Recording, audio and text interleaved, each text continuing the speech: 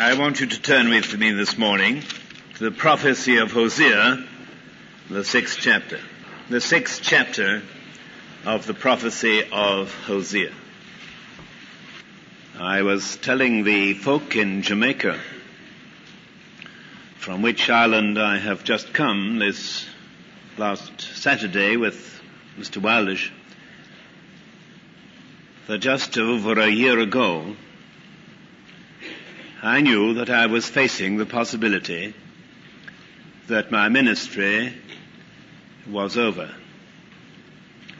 and that I would not again be able to speak for the Lord in public.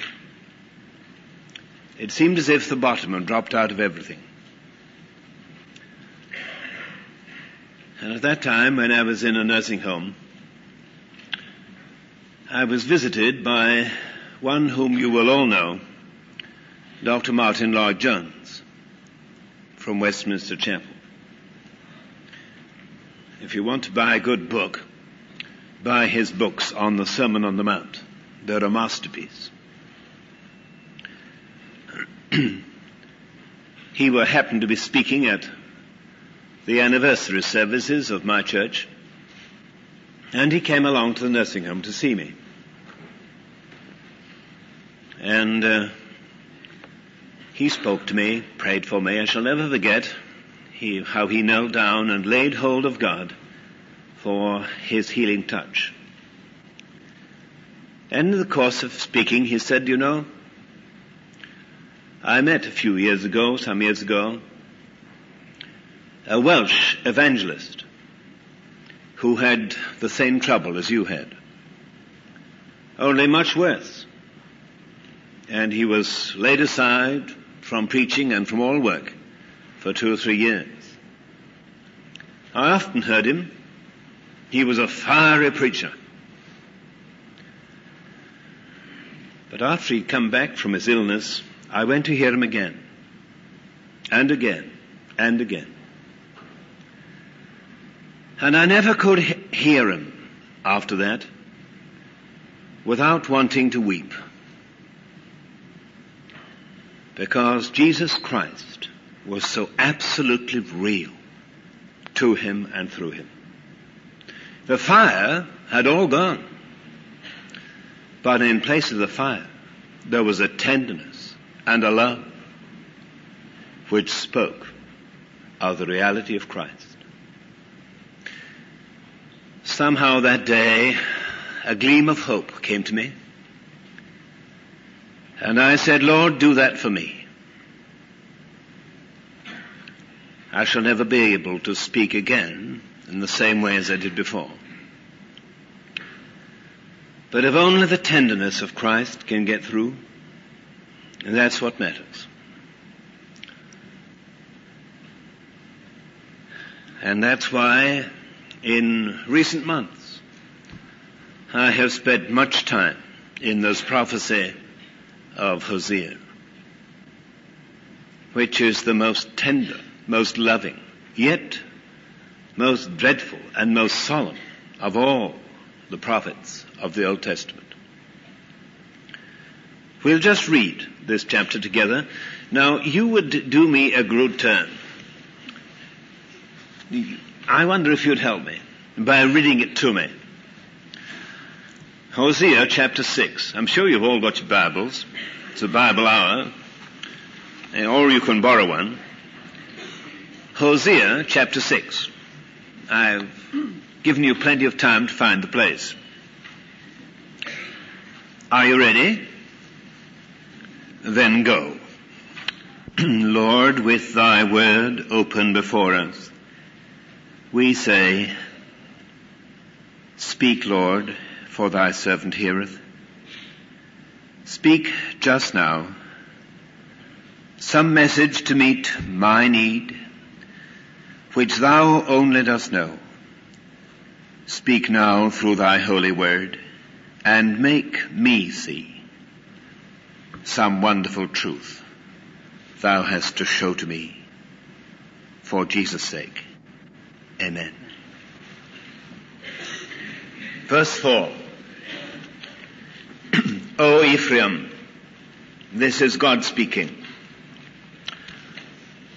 O Ephraim, what shall I do unto thee? Then missing out the next phrase. For your goodness is as a morning cloud and as the early dew. It goeth away. This prophecy is a most amazing revelation of the struggle in the heart of God over the soul of a nation as he fought to win this people in surrender to himself. Now at once you may say, God does not deal with nations nowadays. And therefore that cannot have any particular application to us. In a sense, that is true. But every nation has a soul, has a secret to its strength or to its weakness.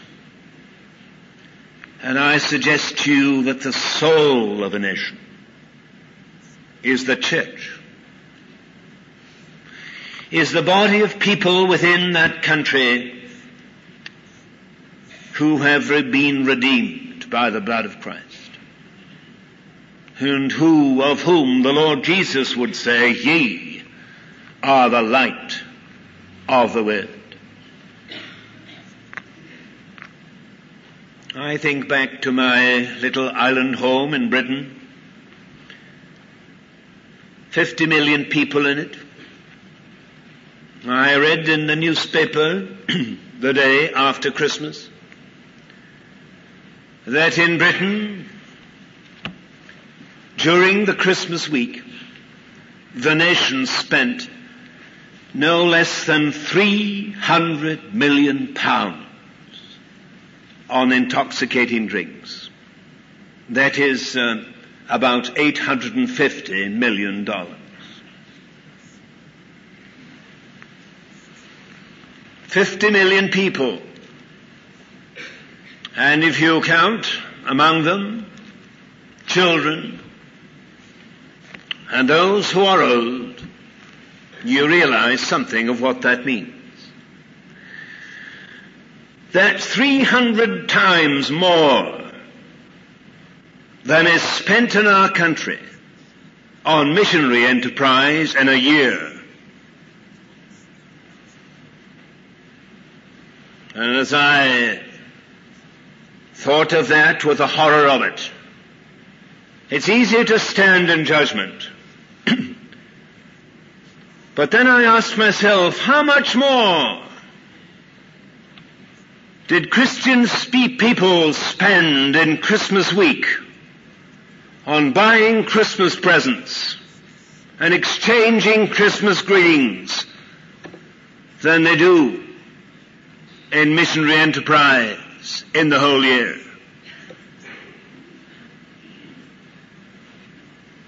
I believe there's an ache in the heart of God over that little country.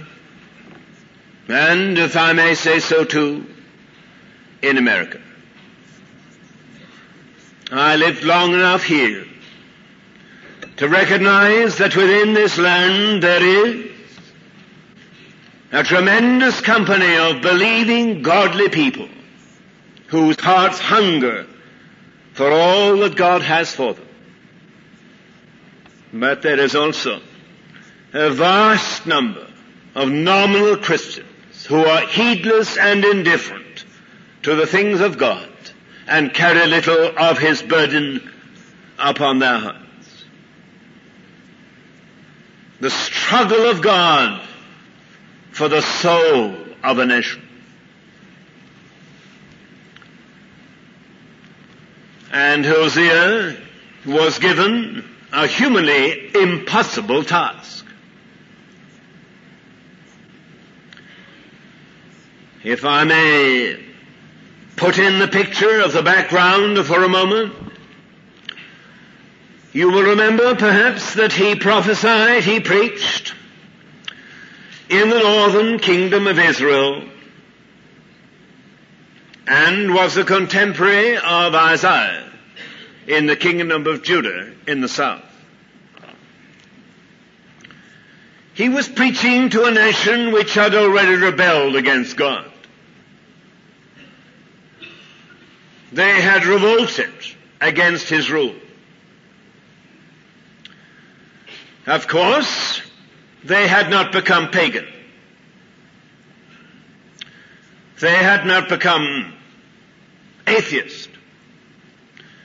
They had set up a form of religion which, as nearly as possible, was like the real thing, which they had known when they were all one nation with Judah. Satan's masterpiece is not to turn out a nation of atheists. It's to turn out counterfeit to reality. The devil has a motto. And it is, give them anything but Jesus. Give them anything but the cross. And the nearer he can get his counterfeit to be like the real thing, the better is pleased.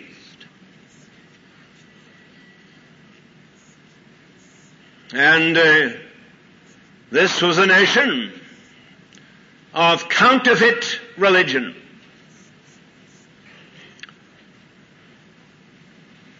With all the sacrifice and all the form and all the outward ceremony that looked like reality, but it lacked the power to do the one thing essential, and that was to bring men into fellowship with Jehovah. The one thing that an aching, longing heart desired was not provided for in that system of religion. And into that situation, Hosea was called to preach. The nation had gone from bad to worse. Its priesthood was corrupt, therefore its people were corrupt. And that's always a principle. If the pulpit is rotten, the pew is rotten. No man can lead a congregation nearer to God than he lives himself.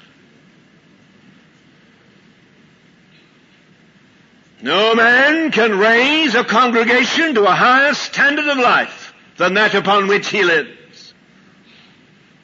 A corrupt priesthood means a corrupt people. And a minister not right with God means a congregation not right with God. A minister who's prayerless busy, fussy, active, will produce a congregation which doesn't pray but which works, but is utterly ineffective for the kingdom. And into that situation God sent Hosea. What a hopeless task. From the human angle, he would be judged by a standard of, and would be reckoned a complete failure. A church can forgive a minister anything, provided he gets results. But if he hasn't baptisms and if he hasn't got conversions, he's no good. Pity the poor missionary. Some who are the very cream of the Christian church I know who've been in India for a lifetime and haven't seen a single convert. Are they failures? My friend, what a false standard it is to judge a ministry by success. The only standard to judge a ministry is by whether or not in the course of a man's ministry that man himself becomes more like the Lord Jesus. More lovely in his character. More gentle in his life. And Hosea is sent into this situation to preach, to declare the word of God to that people. But there was a price to pay. God couldn't give the man, uh, the man the honor of such a strategic ministry as that unless he was willing to pay a terrific price. And you remember the story. The first three chapters tell us. Hosea, early in his ministry, was married at the command of God. And there were three children to the marriage. And then tragedy broke into the home. Gomer, his wife, was unfaithful and left him. He could have looked back upon that marriage and said to him, said to himself, that's the biggest disaster of my life, but God ordered it. And the home broke up. An all too familiar story. But then something very strange and wonderful happened. God said to Hosea, go and get her back again. And take her back to yourself. And so he had to swallow his pride. And he went down to the slave market and bought her for half price. Just how low she had sunk half the price of a slave and a day's rations of food. She was just a prostitute, you see. And he brought her back to his side, to his wife, to be his wife, once more. And out of that experience, Hosea learned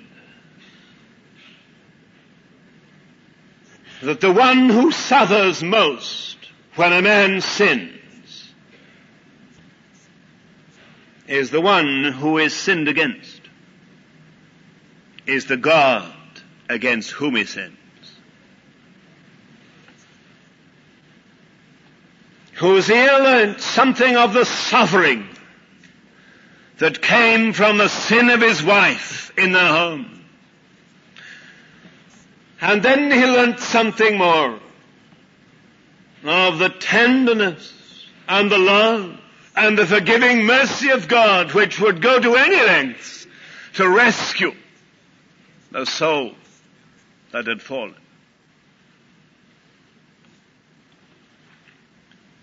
Had he been sent to preach in that situation without that lesson, he would have thundered hellfire at the whole lot of them. He'd have told them in no uncertain sound what he thought of that country. But God didn't want him to do that. The only hope for that country was that they would understand what was the true character of the heart of God. God filled Hosea with love, with tenderness, with sweetness, and yet with firmness. And therefore he went to preach to that people as the very voice of God for the hour in which we live.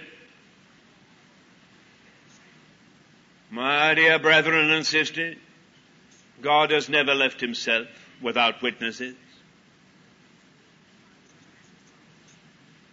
God has His man for this 20th century. His man for your town, for your church.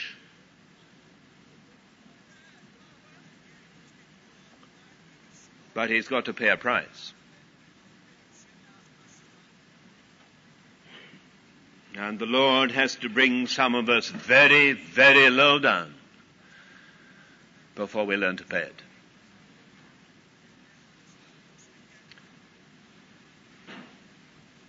And Hosea began to preach to the people. And you get something of the theme of his message in the previous chapter. Just glance at it one second. Verse 12. Therefore will I be unto Ephraim as a moth, and to the house of Judah as rottenness. Verse 14. For I will be unto Ephraim as a lion, and as a young lion in the house of Judah. I even, I will tear and go away. I will take away, and none shall rescue him.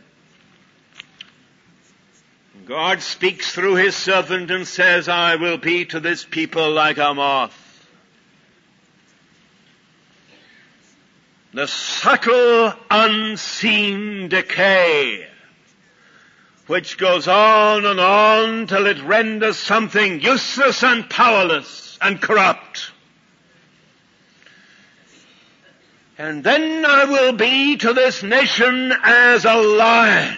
I shall I shall meet them with disaster and with tragedy. The moth and the lion. Do you know anything about that in your life? Do you know anything about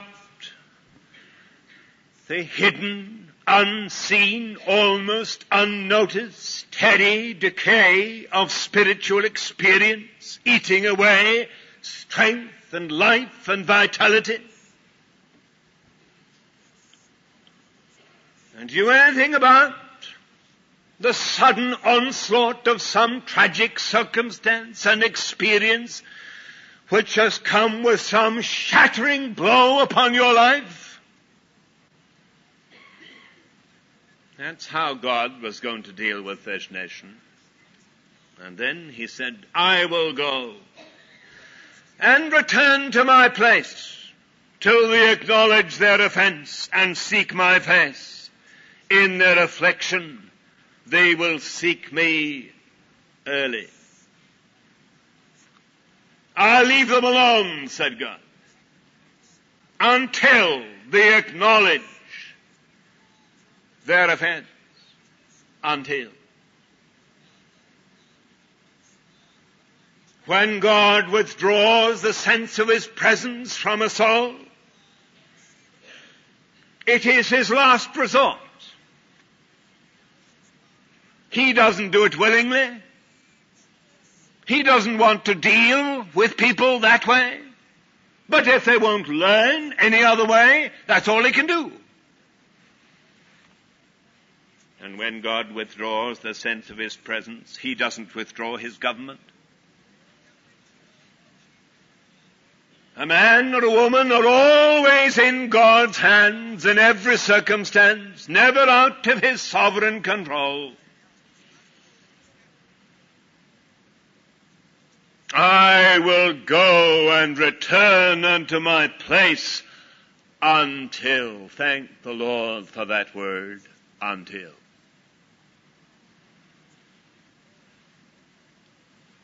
The door for a return to the Lord is wide open.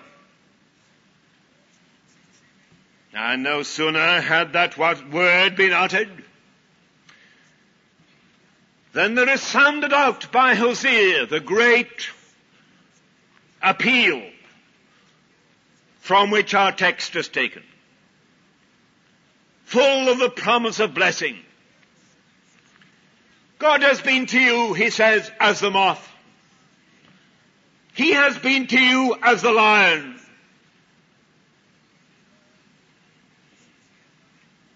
I trust that the Holy Spirit this morning has applied that to your heart. There's a hymn of John Newton's that I don't like. But uh, if we were honest, I wonder if we wouldn't sing it, really, that would be the song of our hearts. Oh, for a closer walk with God, a calm and heavenly frame, a light to shine along the road that leads me to the Lamb. Where is the blessedness that once I knew when first I saw the Lord? The soul refreshing view of Jesus and His Word. Where?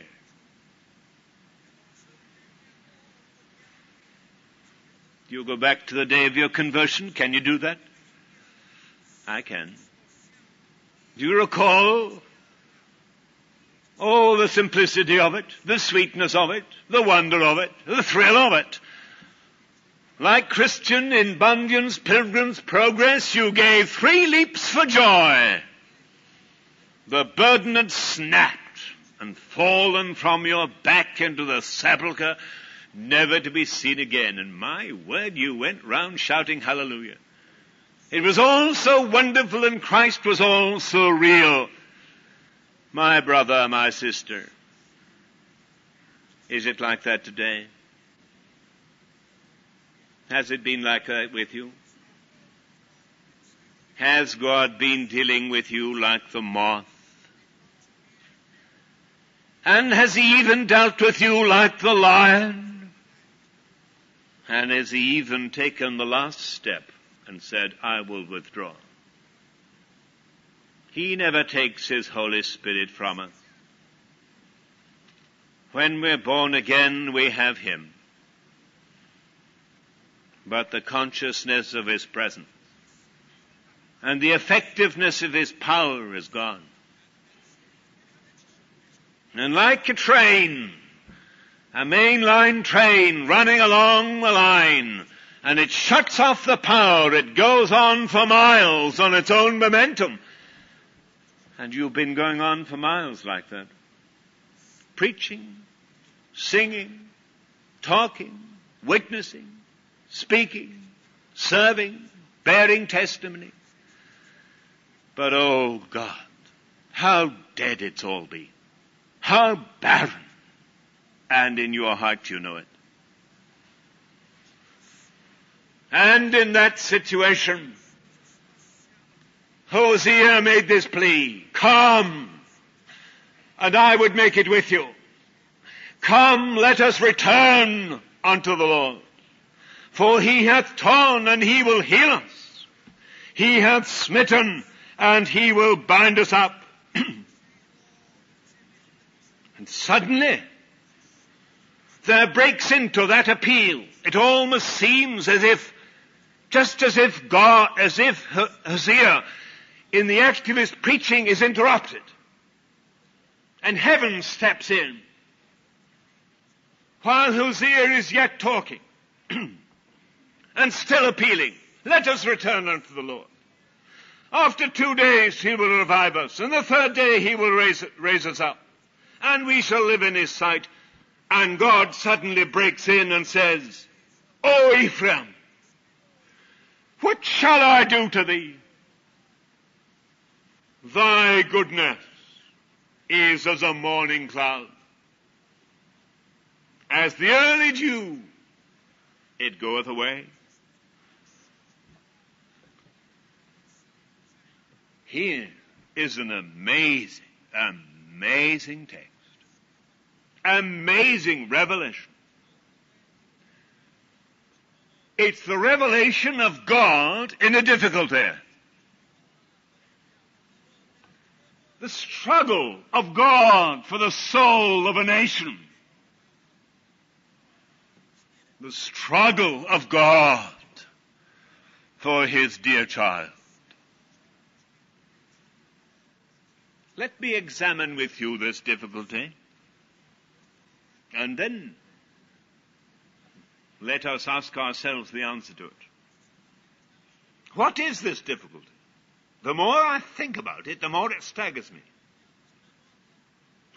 I can understand a man saying, What must I do to be saved? I wish I heard them say it more often. It's the revelation of God in a difficulty. The struggle of God for the soul of a nation. The struggle of God for his dear child.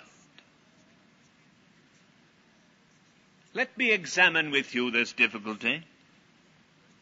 And then let us ask ourselves the answer to it. What is this difficulty? The more I think about it, the more it staggers me. I can understand a man saying, What must I do to be saved? I wish I heard them say it more often. But this is not a picture of a man in difficulty because he can't find God. It is a picture of God in difficulty because he can't deal with a man. Now that's very arresting. What does it mean? Wherein lies the difficulty? The answer is given us. And please note very carefully that the difficulty does not lie with human sin and failure. Oh, the whole of this precious book is full of the story of that. But sin never creates a difficulty to God. It is an opportunity for Him to display His healing power. As soon as faith and repentance are exercised and faith is placed in the divine remedy, the blood of Jesus, God steps in to save. He's never failed to do that. Never once. Anyone who truly repents and truly believes at that moment steps out of darkness into light. Oh, sin is no difficulty. Now, perhaps that word is just a word of comfort to someone in this church this morning. Perhaps you labor under a sense of failure. You imagine that it's all too big a mess for God ever to come in and clean up.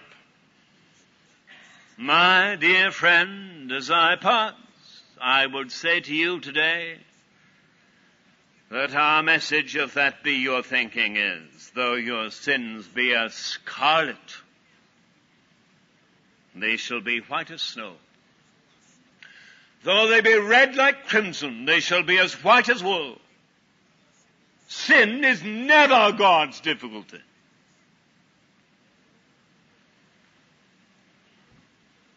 Though the defeat and the bondage may have gone on for years and may have gone an awful long way, it can't go so far as the power of the blood of Jesus to save you from it. And though the tragedy may have gone deep, deep down to the depths of your soul, the cross can go deeper. Just let him have his way with you. And in answer to your willingness, he's able. Sin isn't God's difficulty. Then what is God's difficulty? Here it is. Your goodness is as a morning cloud. Not sin, but goodness. That's the difficulty with God. Now, isn't that arresting? Goodness as the morning cloud, as the early dew which goeth away. Beautiful, Every blade of grass shining in the sun. But the moment the sun comes up, it's gone. Never produces any harvest. Never accomplishes anything permanent. God's difficulty with the soul is not created by its sinfulness, but by its goodness. Now, what is meant by this word goodness? In the margin of the authorized version, you will find mercy or kindness. I am no Hebrew scholar. I don't know a word of it, and I don't want to pose as one. You can go a good long way with a concordance, and it sounds quite impressive to say that the Hebrew meaning is this. But having disposed of any imagination that you think I have any scholarly bent, I understand that the root meaning of this word goodness is, in the Hebrew, bending the neck. Submission. And goodness and kindness and mercy are all the outcome of submission. O Ephraim, what shall I do unto thee? For thy submission is like a morning cloud. Do you see it? God says, I will withdraw myself until they acknowledge their offense and seek my face. Then Hosea pleads with them to return. And God breaks in. Ah, oh, Hosea, but that's the trouble with this people. They've come back to me so often. They've returned so frequently. They're always doing it. They've submitted so sincerely. But it's like a morning cloud. I've looked for something permanent, but it never takes place. And away down in the southern country, Isaiah was saying the same thing to Judah. Listen, my beloved hath a vineyard in a very fruitful hill. He fenced it, gathered out the stones, planted it with the choicest vine, built a tower in the midst of it, and a wine press therein. Looked that it should bring forth grapes, and it brought forth wild grapes. What could have been done more to my vineyard than I have not done in it? Wherefore, when I asked that it should bring forth grapes, brought it forth wild grapes. Now, do you see God's difficulty? I want to put it very clearly, very simply to you. Not my sins, which may be like a mountain. He can deal with them. But my submission which in all sincerity I have given to him, perhaps at Keswick Convention every year I've attended it. And I've resolved, and I've determined, and I've yielded, and I've consecrated myself, and it lasted 24 hours. Because I refuse to give up the principle upon which I lived my life. I refuse to admit that I was beaten. I thought that I could still, with help from reading my Bible, with help in prayer, I could still live the Christian life. I could still make myself a good Christian. Polish up the flesh improve it, refine it, sanctify it. I will make myself live this Christian life, and I'll come to Keswick and take all the notes of sermons that I can ever hear, and I'll seek to put them into action, and I'll do my best. and all you do, my friend, is to try and make yourself, just think of it with me, try and make yourself, who couldn't le- even live an unconverted life to your own satisfaction, that's why you turn to Jesus. Try and make yourself live a Christian life. Hmm. No wonder the psychiatrists are kept busy. No wonder that many Christians have to live with coffee and tranquilizing pills. All the tensions in the heart that says, I will be good.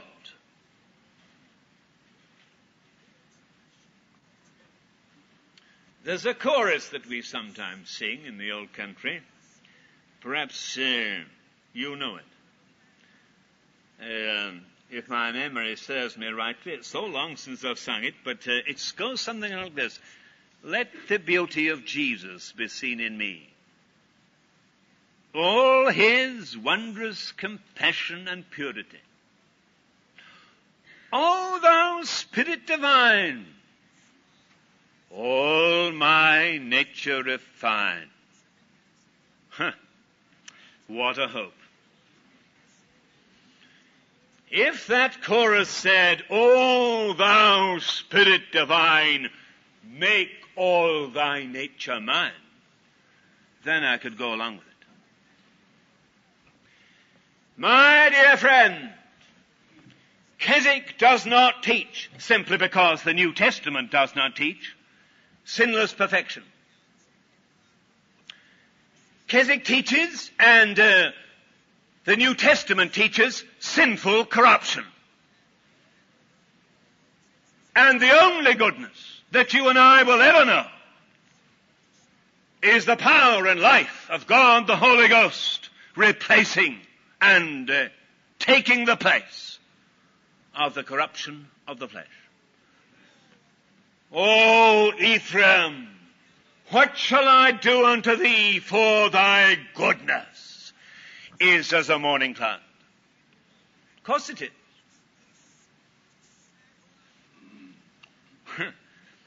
You've responded and surrendered and stood up and held your hands up and signed cards and gone back to your church and you're determined to live the life and make good, and I tell you, some of you, you're back here in the same old mess as you were before.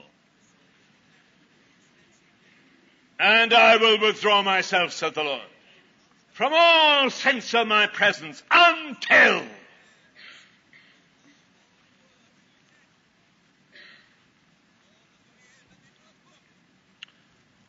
We've been so sincere with our determination to pray, our determination to give, our determination to serve, our determination to witness. We bought books by the latest uh, Keswick speakers from the bookstall and they're half read and half marked and they haven't been completed and we left the sanctuary and left the convention and went back into the rush and bustle of business and home and we've never faced this issue really in our lives at all. That's God's difficulty. It's expressed perhaps uh, most, most uh, searchingly in the 14th verse of the 7th chapter. And they have not cried unto me with their heart when they howled upon their beds. They assemble themselves for corn and wine, and they rebel against me. There it is. oh yes, we can do this. We go back and howl upon our beds. Howl at the mess we've made and the failures we've been and the resolutions we've failed to carry through. But we haven't turned to the Lord and cried to Him, and we've come again for corn and wine at another Keswick Convention. And yet in our heart, basically, is a great big realm of rebellion against God.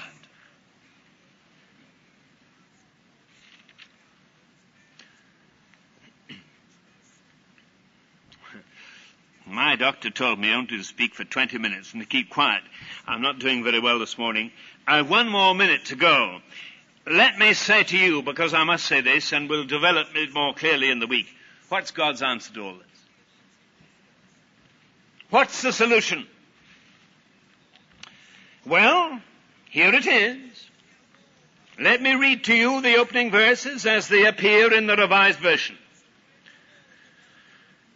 Come, let us return unto Jehovah. For he hath torn, and he will heal us. He hath smitten, and he will bind us up. After two days will he revive us. On the third day he will raise us up, and we shall live before him. Let us know. Let us follow on to know. Jehovah. Notice these words. Let us. Let us return. Let us know. Let us follow on to know. Verse 6, the knowledge of God is more than burnt offering. David said, Lord, unite my heart to fear thy name.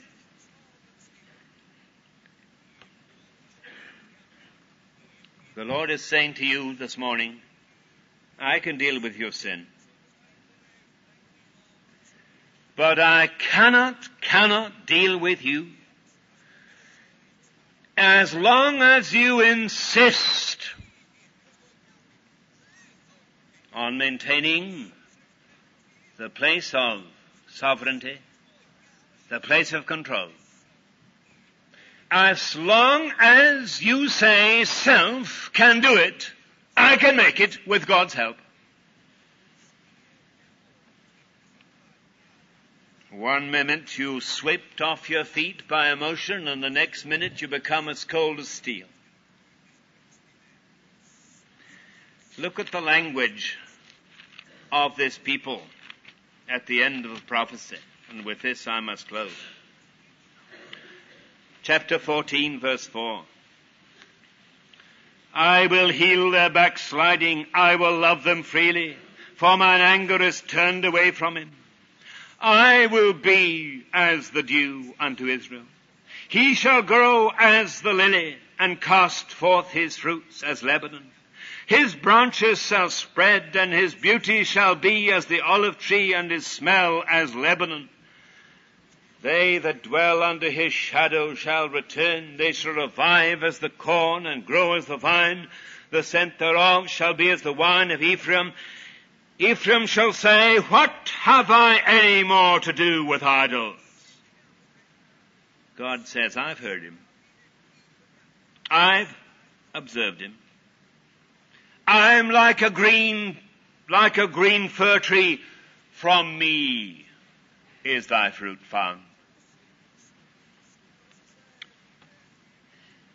My friend, listen.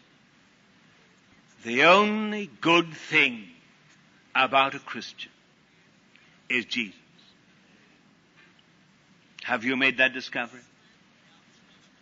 I would close, I think, by reading you the last verse of this prophecy. Who is wise, and he shall understand these things.